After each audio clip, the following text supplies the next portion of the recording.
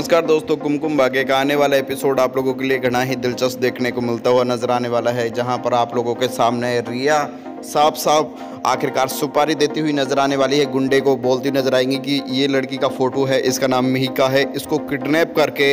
इस पर अटैक करना है। आप लोग जानते ही हैं कि इस समय रणबीर और मिहिका एक ना हो पाए, इसके लिए बहुत ही बड़ी चाल चलती हुई नज़र आ रही है, क्योंकि आप लोग जानते ही हैं कि इस समय प्राची दुश्मन नहीं है रिया की, बल्कि असली दुश्मन अब है मिहिका और मिहिका को वो हर तरीका से रणबीर से अलग ही करना चाहती है, क्योंकि दोस्तों, जो रिया चाहती है, ये तो हकीकत है कि उसे करने के लिए वो कुछ भी कर सकती है। आप लोगों को बता देना चाहता हूँ दोस्तों कि आने वाली कहानी एक नहीं, बल्कि समय कई और भी टूस्ट लगातार आते हुए नज़र आ रहे हैं, क्योंकि अफसोस नहीं, बल्कि समय बेहद ही ज़्यादा अफसोस होता हुआ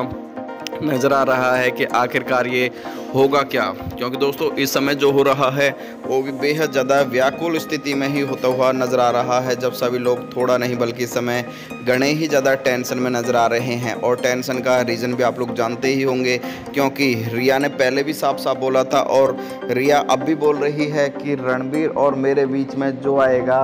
मुझे बिल्कुल भी पसंद नहीं है। हालाँकि दोस्तों, कहानी अब दोनों तरफ़ से बिगड़ती हुई नज़र आने वाली है। इधर से अब अक्षय भी बहुत गर्म मिजाज में नज़र आ रहे हैं, क्योंकि अक्षय को पता चल चुका है कि हाँ प्राची के दिल में आज भी रणवीर के लिए मोहब्बत है और रणवीर इस घर में अगर आए हुए हैं तो किसी और के लिए नहीं, बल्कि वो साफ़ साफ़ बोला जाए तो प्राची के लिए ही इस घर में अभी भी लेबल हैं दोस्तों, क्योंकि इसीलिए ही इस घर में उन लोगों ने विज़िट किया था। साथ ही दोस्तों, मेरा नाम है रोहित। नागर चैनल को सब्सक्राइब करें, वीडियो को लाइक करें एंड कमेंट करके आप लोग मेरे को